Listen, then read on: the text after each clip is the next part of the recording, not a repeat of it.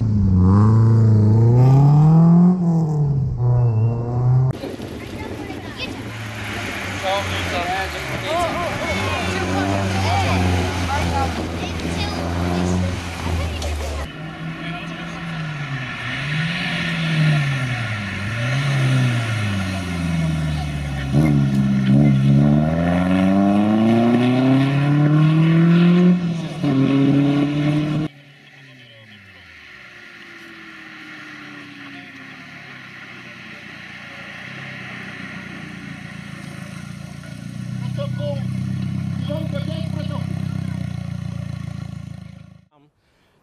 Co do moich obowiązków, no przede wszystkim e, s- samochód funkcyjny, e, zbieramy dokumenty wszystkie, no i oczywiście też dokumenty, które e, od załóg, które wypadły. No, dobrze wszystko się skończyło dla każdej załogi.